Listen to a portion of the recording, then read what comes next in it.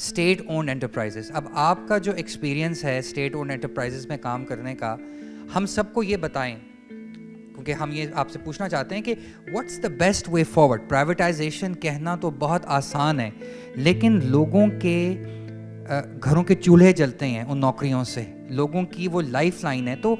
ये कहना बड़ा आसान है कि एक जादू की छड़ी चलाएँ और प्राइवेटाइज कर दें but this is more of a political problem so I want to see how you would advise the government और us how to approach this first and foremost question is that what are you trying to achieve through the privatization And, and when you talk about privatization, um, the important thing is that the regulators have to be, be uh, very, very strong. We need to un understand कि ये public sector entities हैं क्या essentially by and large these are utilities I'm talking about 206 public sector organizations,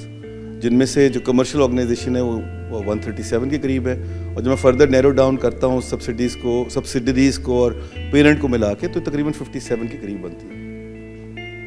ये primarily utilities हैं। And हमें ये समझने की ज़रूरत है कि इनको जो प्राइवेटाइजेशन है, उसके क्या रीजंस हैं what are we trying to achieve through the privatization कि आप कहते ये कि नहीं नहीं नहीं नहीं, ये तो हमारे बस की बात ही नहीं है। पब्लिक सेक्टर एंटिटी है, बस जिसको प्राइवेटाइजेशन का प्राइवेटाइज कर दे, इसको जान छुड़ा ले अपनी। जान नहीं छूटती बिकॉज़ आप एक प्रॉब्लम में से निकलते हैं और दूसरे में फंस जाते हैं because the very purpose of that entity is the kind of delivery which is lacking otherwise if you do not do it right मेरी एक थेरी है, जिसको मैं कहता हूँ बिग फाइव थेरी कि हम कम अज कम एज अ स्टार्टिंग पॉइंट कुछ एंटिटीज ऐसी आइडेंटिफाई कर ली। We are by the way talking about one trillion rupee of whole कि जिनको अगर हम हम ये चार एक्शन ले लें तो वो चीज़ें ठीक हो जाए। मैंने वो कोशिश की है कि मैंने बिग फाइव थियरी में उसको इनकॉपरेट करने की कोशिश की पाँच रेगुलेटर्स को आप इंडिपेंडेंट करें, उनको लाइन मिनिस्ट्री से निकाल कैबिनेट डिवीज़न में डालें, उनको ट्रू इंडिपेंडेंस दें through the regulation like we did in the case of state bank of Pakistan वो पाँच regulator in my opinion are state bank of Pakistan तो है ही S E C P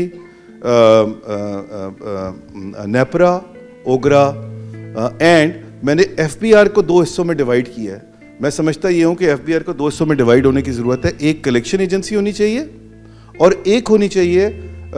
regulatory agency तो as a regulator मैंने उसको वहाँ define किया और फिर कलेक्शन में भी वो आ रहा है नीचे। Uh, और एज अ रेगुलेटर जब आप कलेक्शन एजेंसी लेके जाएँगे तो वो कलेक्शन के पॉइंट ऑफ़ व्यू से फोकस करेगा पर्टिकुलरली फ्रॉम द टेक्नोलॉजी के एस्पेक्ट से introducing that in trimming the entire collection process and making that more efficient harassment free जो पाँच कॉपरेट एंटिटीज मैंने आइडेंटिफाई की हैं, वो इस पॉइंट ऑफ़ व्यू से किए हैं कि वो इकोनॉमिक बेनिफिट्स में कौन कौन सी हैं। तो उसमें मैंने पाकिस्तान एयरलाइंस को आइडेंटिफाई किया है पी आई बिकॉज़ वो ऐसे रूट्स पे जाती है कि जहाँ private airlines will never go Pakistan railway same goes for Pakistan railway then I have identified वापडा and N T D C these are utilities which you know everybody uses